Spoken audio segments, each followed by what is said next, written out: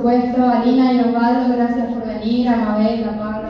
A todos, no quiero, a mi familia, por supuesto, a Martina, a Angélica, a María Mirna, a todos los amigos, correligionarios, vecinos, representantes de instituciones, gente de la zona rural que ha hecho un esfuerzo por estar aquí presente. Muchísimas gracias por acompañarme. La verdad que cuando me presentaba Marilén pensaba, ¿y ahora cómo voy a hacer para hablar? Porque estoy muy emocionada, la verdad. Este, cuando me embarqué en esto, decía, ¿será que va a ir alguien? que alguien va a querer acompañarme en esta aventura y la verdad que me sorprendí, gracias, gracias. Muchísimas gracias por estar a la tiempo.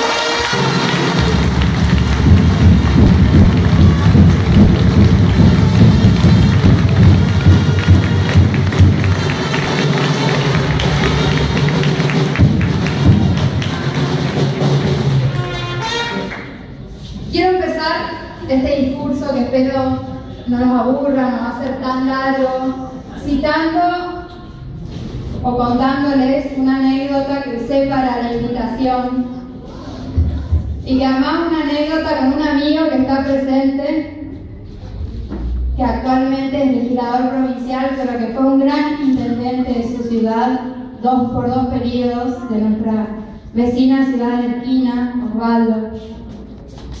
Un día, una noche, caminando para una sesión, hablando de los proyectos de cada uno y él que me contaba que la verdad quería volver a Quina que, y yo contándole mis anhelos también de tener otra oportunidad para ser intendente de mi ciudad, él me decía que el ser intendente, el que te elijan para ser intendente, era a su consideración el mayor honor que se puede tener en política, porque quienes te eligen son quienes más te conocen, tus contemporáneos.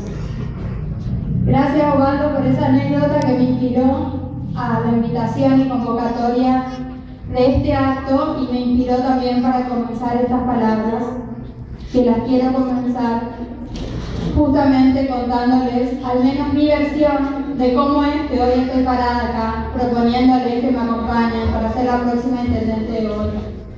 Es decir, contarles un poco quién soy. Algunas cosas brevemente las contó Marilén en la presentación. Por supuesto que soy goyana, nací en Goya el 19 de octubre de 1977 Fui a la escuela normal y algunos años en mi secundaria en el Instituto San Martín. De las dos instituciones guardo muy buenos recuerdos y muchos amigos y amigas que hoy siguen siendo mis amigas están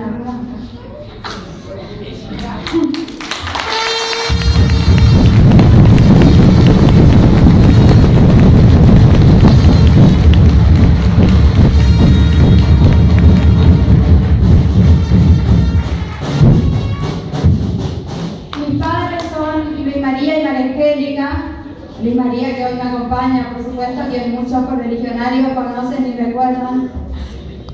Y María Angélica, mi mamá, que ya no está conmigo físicamente, pero me acompaña siempre. De los dos, como a todos nuestros padres nos marcan, de los dos me marcó algo que me sigue acompañando en mi vida política y profesional. De mi papá, su amor por la Unión Cívica Radical, su convicción, sus principios, sus valores, el valor de la palabra.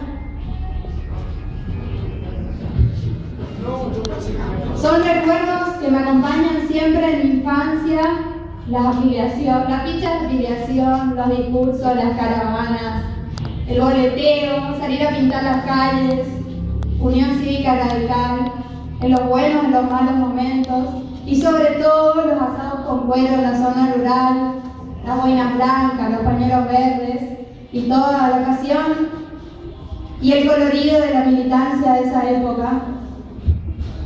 De mi mamá, aunque también era radical, me marcó otra cosa, su sensibilidad, su amor al prójimo, el preocuparse mucho más por los demás que por sí misma. Que muchas veces eso necesitamos todos, mirarnos menos el ombligo y mirar más a nuestro alrededor. Y así, de mi infancia, recuerdo esas dos improntas, acompañar a mi mamá a la casa del niño y a mi papá a los actos políticos. Y creo que esas cosas nos van quedando y nos van marcando de alguna manera el futuro y la vocación. Y en la secundaria escuché por ahí que existía una carrera que se llamaba Ciencia Política y dije, eso quiero estudiar. La verdad que no sabía, no tenía muy claro qué era esa carrera de Ciencia Política, pero ahí fui, me anoté cuando terminé la secundaria y estudié en la Universidad de Buenos Aires. Disfruté mucho, mucho de mis años de facultad, de la reflexión teórica, pero por supuesto en el último año y medio dije, ¿y ahora qué hago con toda esta teoría? ¿De qué voy a laburar? Y ahí también aparecieron mi vida dos experiencias que me marcaron mucho y me siguen marcando, por supuesto. Una fue un trabajo voluntario que hice con una tía psicóloga que se llama Nono, que fue trabajar en un refugio para mujeres víctimas de violencia. Todo lo que vi ahí las mujeres escapando de la muerte, del horror con sus hijos, de los abusos. Mi trabajo era simple, yo las acompañaba a tribunales a declarar o si no me quedaba cuidando a sus hijos cuando ellas iban o tenían alguna audiencia. Y fue durante unos meses, pero creo que esa experiencia y el haber podido compartir con esas mujeres sus historias, después me inspiró un montón en el compromiso con la cuestión del género, pero particularmente con la cuestión de la violencia contra la mujer. Y la otra oportunidad que tuve en esos años en Buenos Aires fue el de integrar un equipo de jóvenes profesionales que primero me enseñó la importancia de trabajar en equipo y de tener un equipo comprometido. Trabajar en el Ministerio del Interior, en el gabinete de asesores, Además me dio los primeros pasos en una materia que me apasionó y me sigue apasionando, que es la seguridad. Ya en el 2005 empecé a trabajar como coordinadora del programa de seguridad ciudadana, después como subsecretaria de seguridad. Y creo que ahí fue mi primer contacto fuerte con la gestión pública en serio. Es decir, si uno se pone a pensar, casi todo lo feo que puede pasar tiene que ver con la seguridad o con el área de seguridad. Un corte de calle, un accidente, un robo, un homicidio, un motín en la cárcel, cosas de todos los días, un área en el que uno estaba muy expuesto al permanente conflicto, a la tensión. Y además, como detalle, en ese momento por lo menos a cargo de la Subsecretaría de Seguridad había más o menos 7.000 hombres que digamos no estaban tan familiarizados con que una mujer estuviese a cargo de esa área.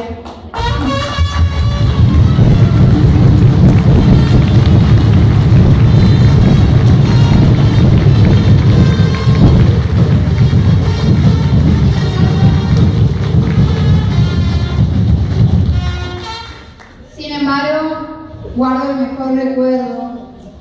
El grupo que formamos en seguridad, a pesar de toda esta tensión y conflicto cotidiano que acompaña una, un área como esa, logramos hacer un montón de acciones proactivas, positivas, involucrar a la ciudadanía a través del programa de seguridad ciudadana que hoy es ley, traer cosas nuevas como la creación del Comité Provincial de Seguridad en el Deporte, avanzar un montón en el tema de seguridad vial, incluir algunas cosas que también siguen hasta hoy subsistiendo, como incluir la cuestión de género y de la violencia familiar en la formación en la escuela de policía, entre otras cosas. Así que además de administrar conflicto y estar permanentemente respondiendo este, en temas que no eran nada gratos para quienes los padecían, creo que logramos hacer una gestión que fue diferente en el área de seguridad.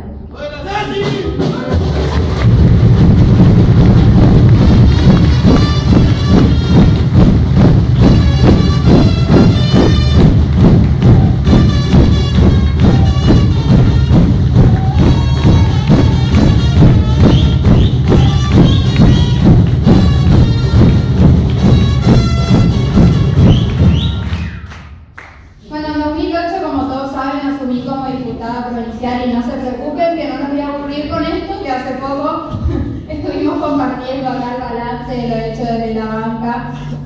Lo único que quiero decirles es que, desde luego, como seguro compartimos con Osvaldo, eh, con Ignacia también, que pasó por el área legislativa, me, me siento mucho más cómoda, más capaz en la función ejecutiva. Sin embargo, creo que la función legislativa es una experiencia que todos los políticos deberían tener, porque ahí es donde uno aprende a construir consenso, a hablar, a dialogar, a lograr acuerdos con gente que piensa distinto, con gente que es de otros partidos políticos, con gente que no quiere construir, sino simplemente busca obstruir y aprender que ahí las decisiones no son individuales y dependemos de la voluntad de otros para que las cosas puedan salir. Eso cuenta al principio para quien viene de la tarea ejecutiva, seguramente para quien fue intendente como Osvaldo durante dos periodos, muchísimo más. cuesta entender algunas cosas, pero, pero es una experiencia desde el punto de vista de la construcción de poder político en el buen sentido muy rica para cualquier dirigente político. Y quiero mencionar, porque me parece que las cosas hay que decirlas, que también en esos años estuve ya parada en un escenario manifestando mi voluntad de querer ser intendente de olla. Una decisión judicial en ese momento impidió que la candidatura progresara. Pero de esas cosas también se aprende mucho. De los momentos difíciles también se aprende. Y de esa candidatura frustrada yo aprendí mucho. Y creo que hoy me paro acá con la misma propuesta, pero con mucha más fuerza y mucha más convicción. Y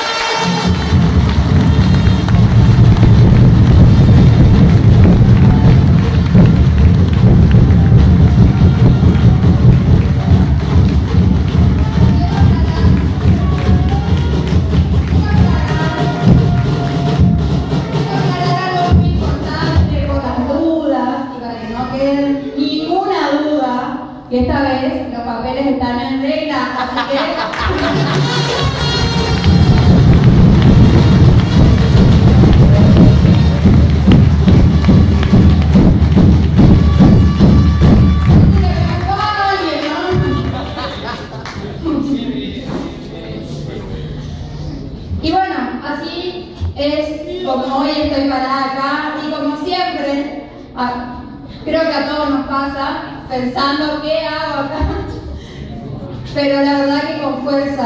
Convicción, con ganas. Y no podría estar acá sin el apoyo de mi familia, de mis amigos, de los que me acompañan siempre, de los correligionarios, de los vecinos, de las instituciones que están acá. Veo algunos amigos y les agradezco mucho por estar. Yo sé el compromiso que implica para algunos de ustedes estar sentados hoy acá y gracias por ese compromiso.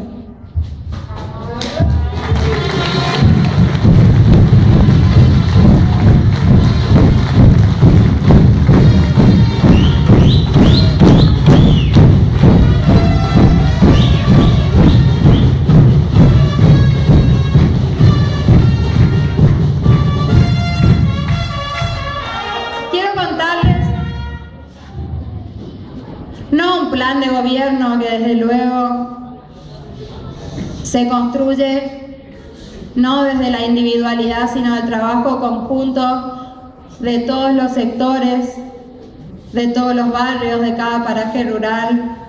Así es como quiero construir mi programa de gobierno. Pero sí quiero contarles algunas ideas que tengo respecto del municipio que me gustaría conducir a partir del 2013. En primer lugar, construir un municipio a partir de una gestión muy buena como las dos gestiones de Ignacio,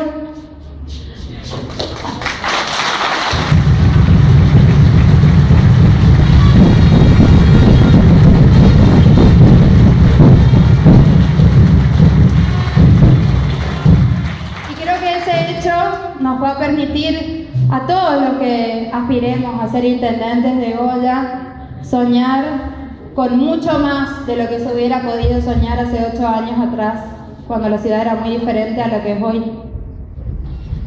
En primer lugar, en materia de obras públicas, donde se ha avanzado considerablemente, quiero una ciudad donde todos los barrios tengan las mismas oportunidades, donde todos los vecinos puedan acceder a la infraestructura básica.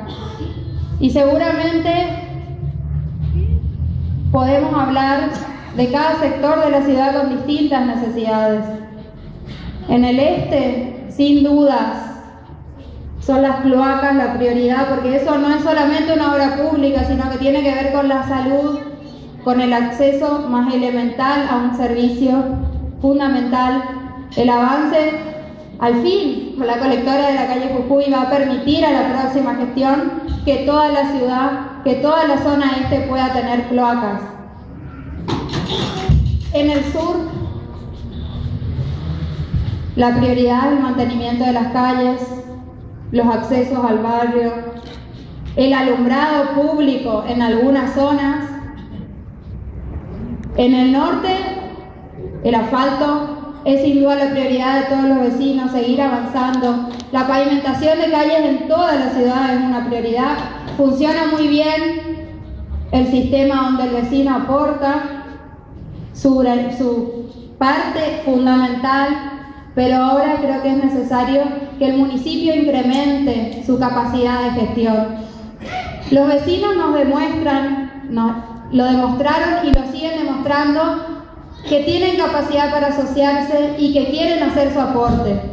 Es momento que el municipio incremente su capacidad para hacer muchas más cuadras de asfalto, tercerizando la pavimentación, si bien la obra pública del municipio es fundamental, la formación de cooperativas de trabajo nos va a permitir más cuadras de asfalto y además más trabajo genuino para muchos jóvenes goyanos.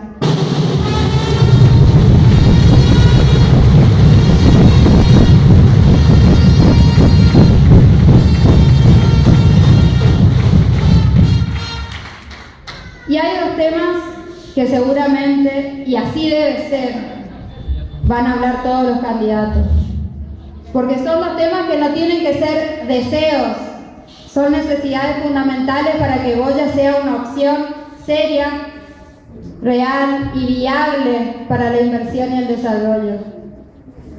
Si bien no depende solamente del intendente, tienen que tener al intendente como el primer, primer primordial gestor, impulsor, incansable gestor las defensas definitivas de los desagües pluviales y la solución de fondo a la cuestión energética. Sin estos dos ejes, creo que nuestra ciudad no va a poder despegar definitivamente. Así que en este punto mi compromiso es ser la gestora incansable para que esto se concrete.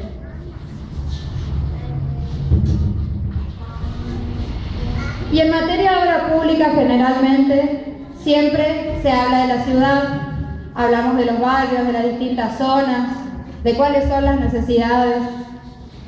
Pero el campo también necesita obra pública. Hoy seguimos teniendo muchos pobladores del campo que no tienen agua, que no tienen luz. Y el municipio no puede depender de otros organismos para que sus ciudadanos accedan a estos servicios elementales. El municipio también tiene que tener un plan de electrificación rural y de agua para los pobladores del campo.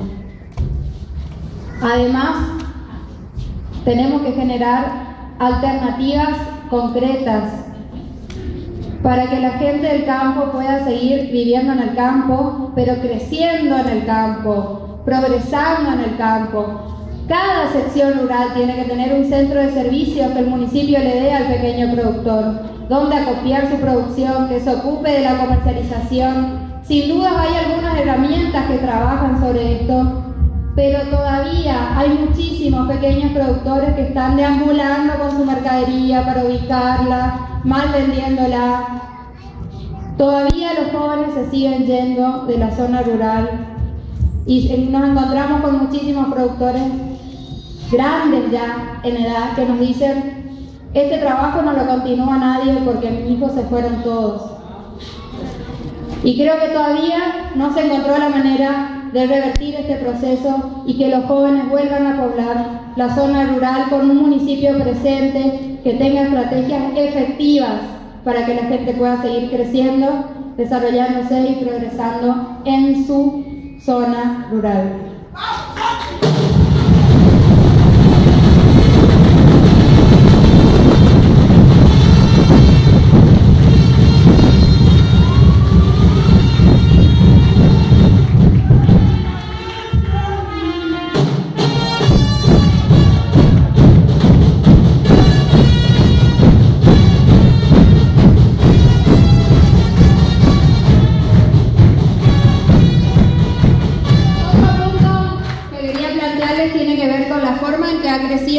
Ciudad.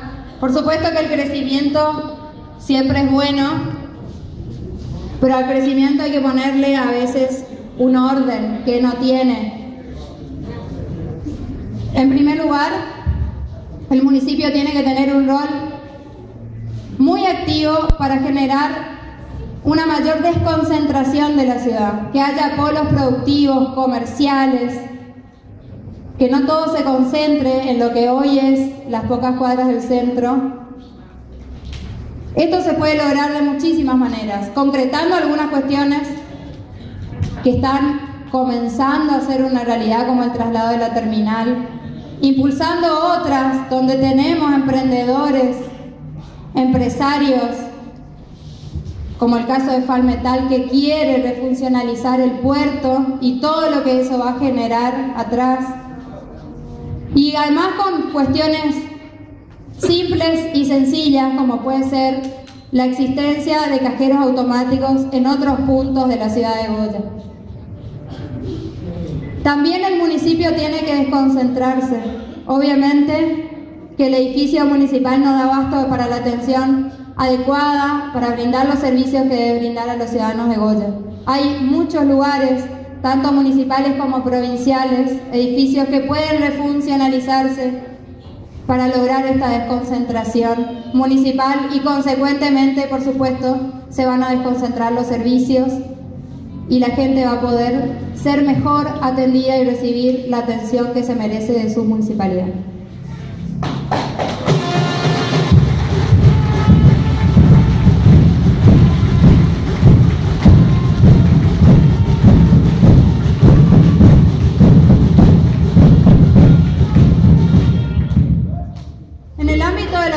Humana o del desarrollo social, podemos tratar muchísimos temas, pero creo que hay uno fundamental, al menos esa es mi visión, cuando camino por un barrio y creo que muchos de los que están acá van a pensar como yo. No podemos seguir conviviendo los boyanos con gente, familias enteras que sigue viviendo en una situación de precariedad habitacional absoluta.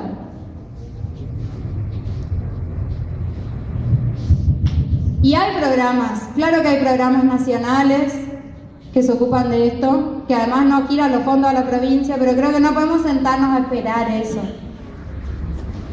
Mejorar el hábitat se puede hacer de, de muchas formas, desde la construcción de núcleo húmedo a la mejora de la vivienda, la regularización dominial, que es una herramienta que está en nuestra nueva constitución provincial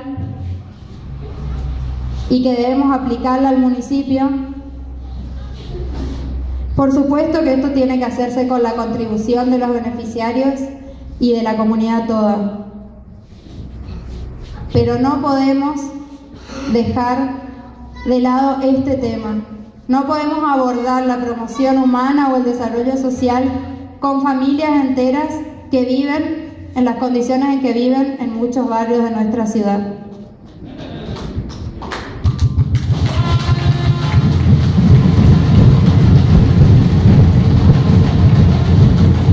Y en este sentido, creo que también se debe crear un fondo especial que contemple las situaciones de contingencia y emergencia y los casos especiales. Esto es, cuando se incendia una vivienda, seguimos reaccionando a eso y no tenemos previsto un mecanismo estandarizado de apoyo. La creación de un fondo para estos casos creo que puede ser una herramienta muy útil. Y cuando digo casos especiales, me refiero, por ejemplo, a niños con enfermedades oncológicas que tienen que seguir buscando la forma de que mejoren su vivienda para que puedan acceder a las condiciones de salubridad mínima que requiere cualquier niño, pero más un niño que está padeciendo una enfermedad de este tipo.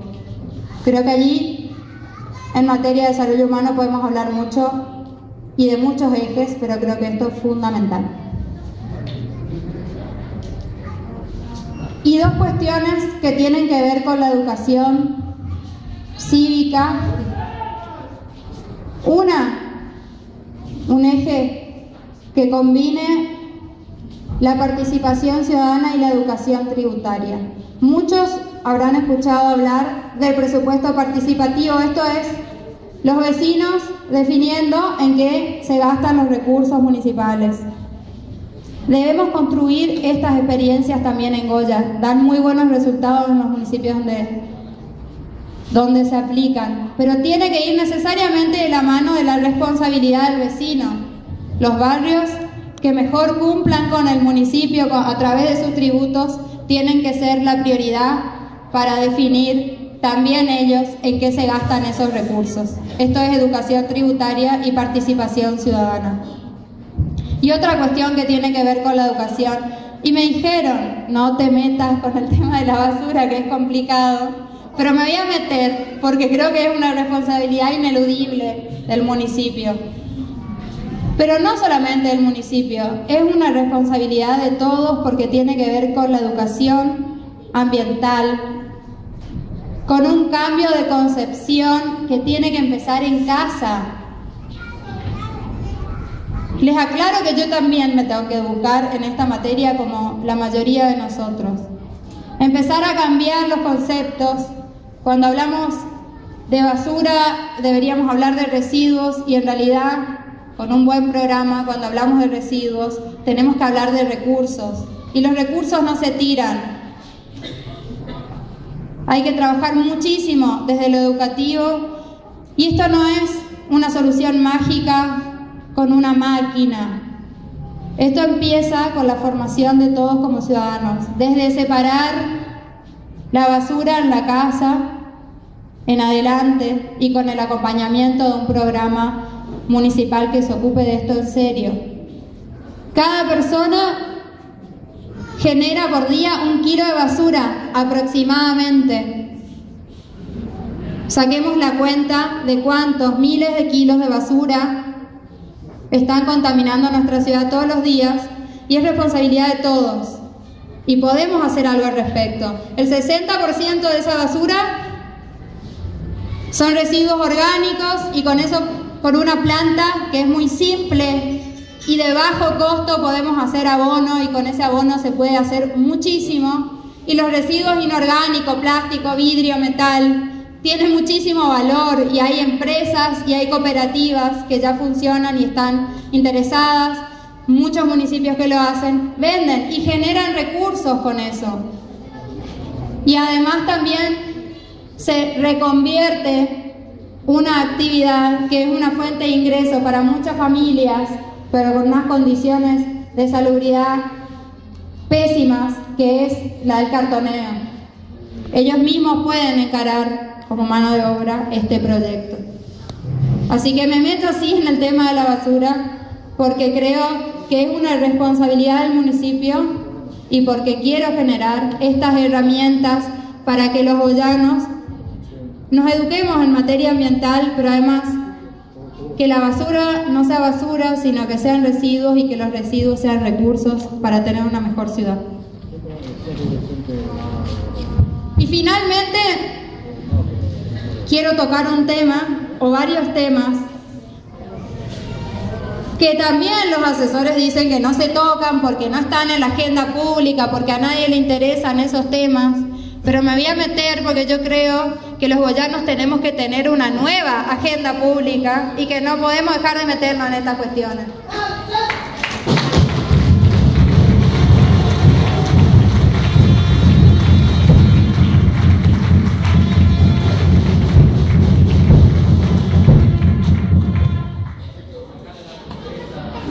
Y son temas que necesitan un abordaje profundo, que no se solucionan con acciones de difusión solamente.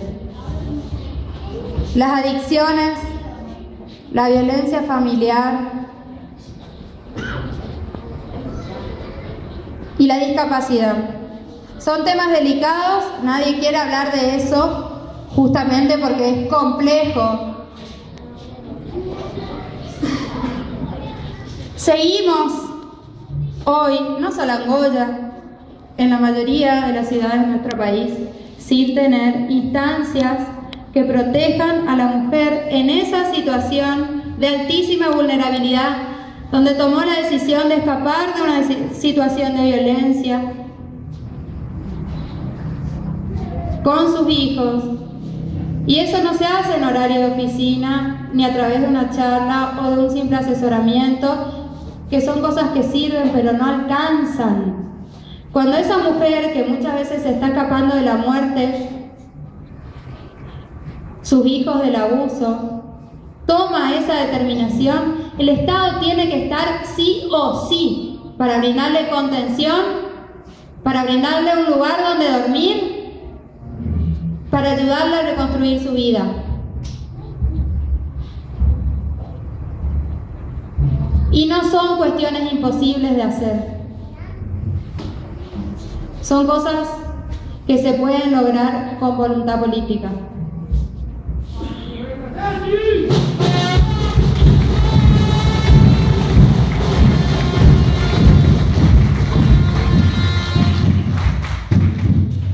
Y cuando hablamos de discapacidad, que también es un tema muy complejo, Creo que la cuestión no se agota en la asistencia necesaria siempre, por supuesto, porque lamentablemente muchas situaciones vinculadas a la discapacidad también están asociadas a la falta de recursos.